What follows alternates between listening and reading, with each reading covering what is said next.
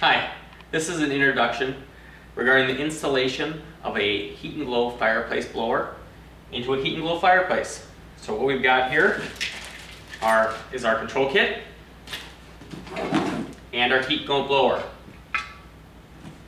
It's very, very easy install, but let me introduce the units first. There's the Heat N Glo fan. This is the main fan unit with a grounding wire and a main plug. And we've also got a thermostat switch, which automatically turns the blower on and off based on the heat generated from the fireplace. So as it heats up, it will turn the fireplace blower on. As it cools down after you turn it off, the fireplace blower will turn off. We've also got a speed control switch. And what this will do is allow you to regulate the speed. So you get the right level of airflow and airflow sound for your needs.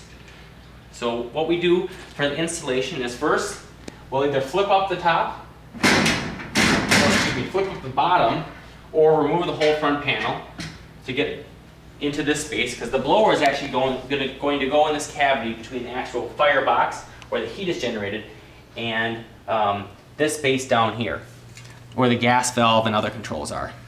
So first, we'll take our fireplace blower and we'll slide that into place. Now a lot of times it can be a snug fit, but you slide that in there, you put it most of the way back, probably leave about a half inch between the back wall and the blower itself. And we'll take this cord and we'll plug this into the outlet labeled fan. And what you'll notice when I plug that in is that the blower doesn't come on. And that's normal, that's a good thing. That's mean your unit has been installed correctly. Because fan, that's terminal, that needs to be activated by two terminals being connected. Otherwise it doesn't allow to be, allow to be powered. The way we do that is by, instead of jumpering between these two terminals that are in there to turn on the fan, we'll actually use the speed control and the thermostat switch to connect those two terminals and interrupt that signal.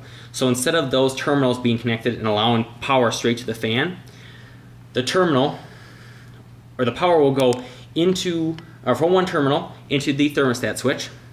The thermostat switch will either allow power through or not. Then that will carry on if it allows power through to the speed control.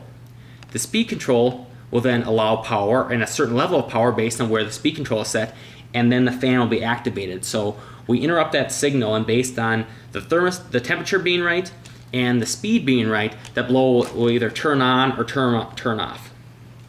So what I'll do right now is I'm going to connect up these pieces and everything you need is included with the switch, including the knob for the speed control. So I'll put that up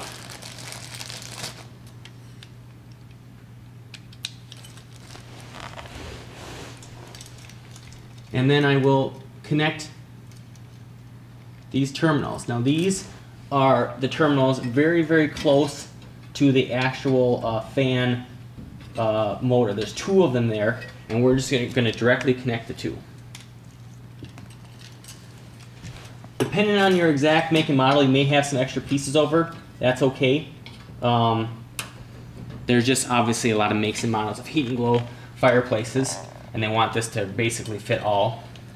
So once I've got those two connected, I'm going to locate my thermostat switch. And there's plenty of good places to put it. Um, a lot of times they'll have some studs that you can put on some screws. You can wedge it into place. There's a lot of different ways to do that. But I'm going to put it where this one stud is and then use an included wing nut to lock it into place. So bear with me one moment while I do this.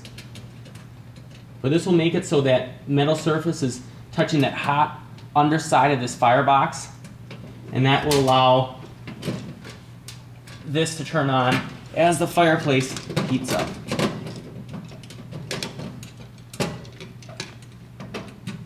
Now what one, one comment I'll make while I'm doing this is um, there are a lot of fireplace blowers that are specifically, um, there's got, got kind of the OEM version of the Heat N Glo, and then there's a lot of good um, similar units, I'll say out there. A lot of generic fireplace blowers that are the same. I mean, Heat N Glo is not a fan manufacturer, so they're buying it. So if you can bypass that and go straight to a fan manufacturer, that can get one of these to you. Instead of paying 200 to 300 dollars for one of these blowers, you may play closer to 150 or maybe sometimes closer to 100, which is really really nice.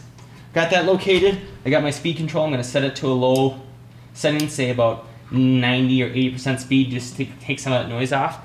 And then I'm going to flip up my fireplace. And we come back in a little bit of the fireplace glowing, going and and glowing, and uh, hopefully this fireplace blower will turn on. And when you hear that, we'll demonstrate the speed control ability as well as show you how it kicks on based on the thermostat switch.